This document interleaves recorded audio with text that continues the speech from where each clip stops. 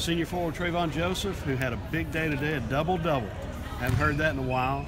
Uh, 13 rebounds, Travon, 11 points, uh, a big block shot, actually two block shots for you. What made the difference for the Demons today? How, how were you guys able to come back?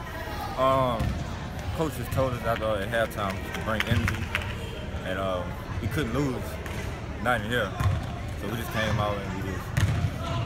What about that zone press? Seemed to wear them down and finally created some turnovers.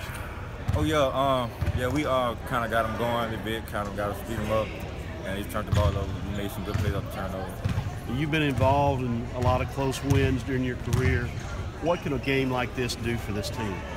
Um, I think it's gonna help us down the road. Just uh, you know, we just can't give up.